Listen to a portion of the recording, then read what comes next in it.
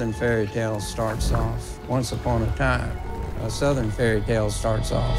Y'all ain't gonna believe this shit.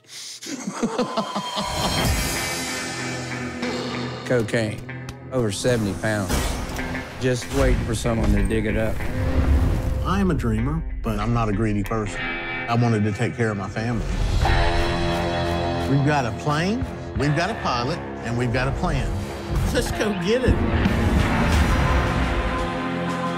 I was talking that smack, that drug talk. Say hello to my little friend. What the fuck are you doing right now? I didn't know if he would ever be coming home. It's a nightmare. Fucking crazy. I didn't know what was gonna happen. I opened it up and